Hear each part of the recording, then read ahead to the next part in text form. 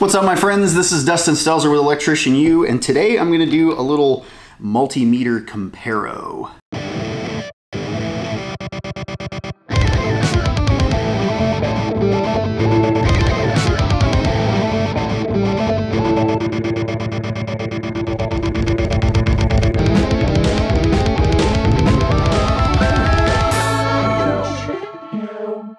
So I've got in front of me four different testers. These are testers, not necessarily multimeters. We still call them multimeters. Um, two of these are a jaw style. So this is the Klein, this is the Fluke, where it's just got a jaw that you can uh, check the current of a wire just by sticking it over the wire. Both of them are the same essentially. The Klein is a little bit bigger jaw, which I like because you can fit it over bigger wire.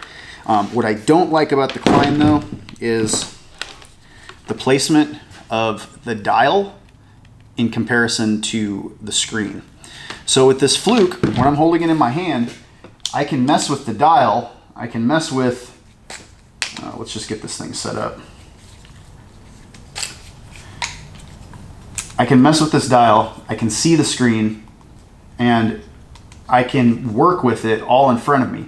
And if I have it holding like this, my fingers, my hands aren't in the way. Even if I have to like do this, if I'm in a weird position, the screen is always there and it's easy to see. I'm not covering it up with my hand at all.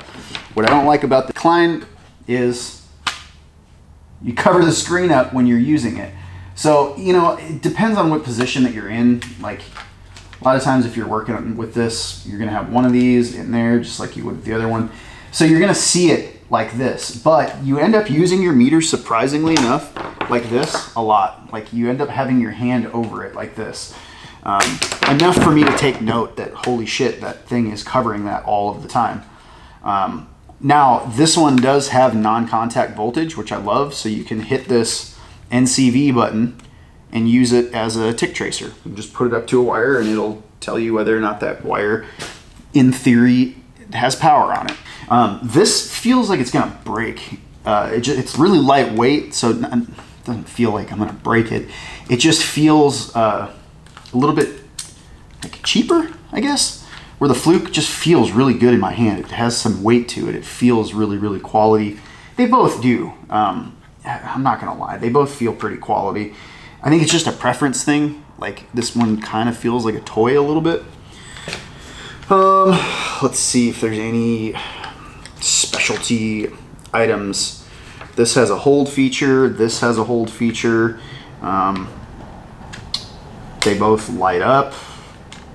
Pretty much it. Both category 3 600 volt rated. I've used the hell out of this one, so it kind of ripped off all the stuff. Um, so anyways, for jaw type multimeters, though, that's my comparo. I still am just a fan of the Fluke.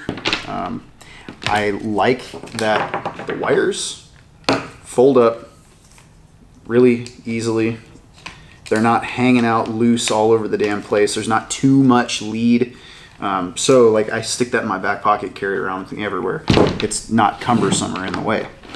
This thing, um, the leads, like they just always get tangled. I think, you know, the leads on this are small, or they're thicker, but they're, they're shorter. These leads are, holy shit. They're really long. Every time I use this, I have to fucking do this. Sit and take all these damn things apart. And then they get tied and not, fuck it. I'm like, I'm not even gonna use it. So um, the next is the clamp-on ammeter.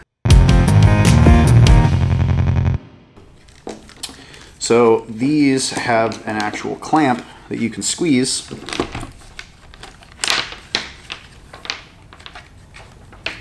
So if you've got bigger wire, you know, you've got like, I don't know, 300 MCM, you just clamp around it, which is nice. Or if you're in a situation, you can use this like not even for amperage. If you're just, you need to hang the thing somewhere, you can hang it on a, a wire or a piece of strut or whatever. You can hang the thing in front of you. And then once it's hung, you can sit and use both the leads. Boom, boom, boom, boom, boom, boom. Um, this Fluke 373 has always been my go-to. I just love the feel of it. I love the quality of it. I love the options that it has. It still has a hold feature and a light. Um, it's got voltage AC. It's got voltage DC. you've got your resistance and your continuity both together. You've got AC amperage and you've got um, uh, capacitance. There we go. Um, so like it, it's got every option that you would need as like a service tech out in the field. The one bitch that I have about it is there's nowhere to store the leads. Like I can't, why? Okay, why not have one thing that you can stick a lead in and hold it so I can still have this damn thing in my hand and use it like I would with this. It's essentially just completing the loop up here and having this meter. Um, I wish that that was the case because this thing's an awesome meter. It just sucks. The leads are way too long, which is not that big of a problem. It's just that they get tied in knots. So you got to sit and wrap all this up. And then even after you get it, you know, tied up, all of it comes undone and it just fucking tangles in your truck. So I hate that. So I really have been looking for a meter to replace this one. Um, and I think I found it. So this Ideal, it's the 61704. Um, lead control. So you actually got places to put your leads. It's still got the clamp. Um, it's still got all of the same options. I don't see capacitance on here though. Well, there is. There's MFD, so it just doesn't look like the same. It's got um, microfarads. It's got uh, two different levels of resistance. You've got 200K, 200, uh, you got voltage DC, three different levels. You've still got your continuity that emits a tone, uh, like all of these do.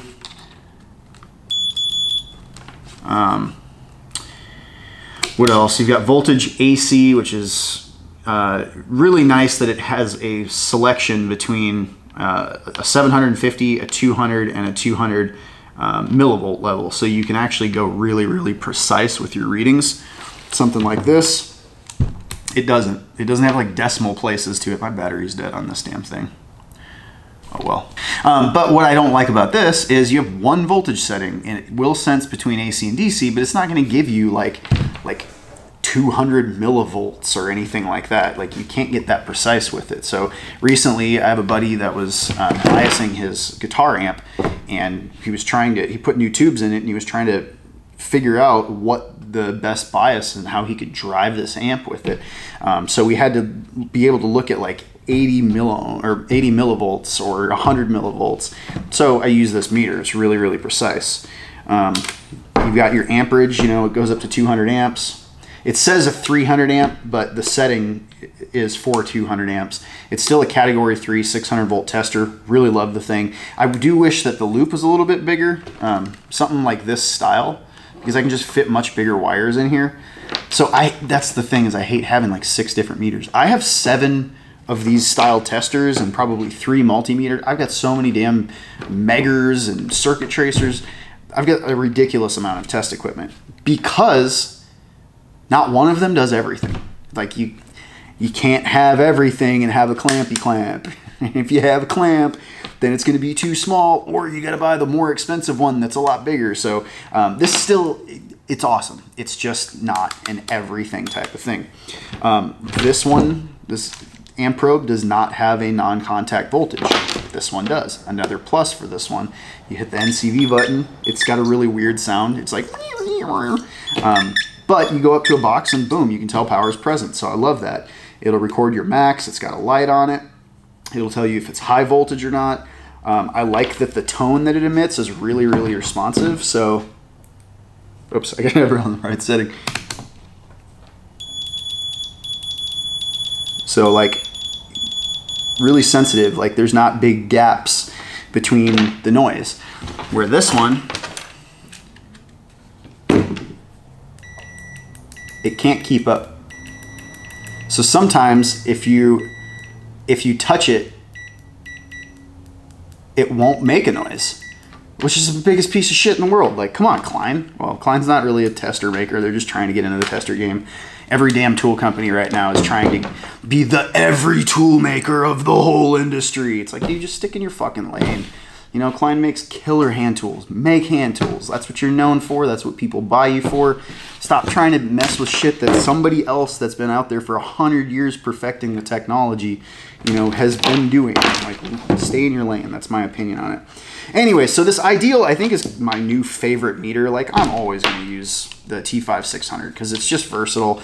I don't need 700 different features on it. Most of the time, oops, most of the time I'm not in working on large feeders or sub feeds or service entrance cables. If I am, then I'm going to grab this meter. But most of the time, um, this little jaw, working with number 12, number 10, 6, 8, you know, like that's a really good thing to have. So um, kind of just depends on what I'm going for. The batteries are dead on this one, so I've been using this one every day. But I love it. It's got everything that I need and uh, nothing I don't. And they were smart enough to put a damn clip on the side of it so I can sit and use it like this. I don't have to hang the fucking thing somewhere and uh, try to use it. So, um, I think that's it. I'm a fan. Um, this Klein, all Klein's test equipment stuff is just lacking because they're trying too hard to do something that they're not. Um, again, just my opinion. Uh, Fluke's really badass. Fluke's always badass. I just think the design of this 373 could have been thought out a whole hell of a lot better. At least a place to put the fucking leads and a place to stick one of them because you're always using two hands when you're using a multimeter. You don't always have something that you can clamp and hang this thing off if you use both of, of your hands. So um, just kind of a, a, big time flaw for Fluke in my opinion. So uh, if any of you all have used the Ideal 61704 or the Fluke T5600, smash a thumbs up because they're both dope. Uh, let me know what you guys think. If there's something out there that you use that you think I would like better, um, I'm always game for that. So uh, put in your suggestions. Love you crazy people, and I'll see you in the next one.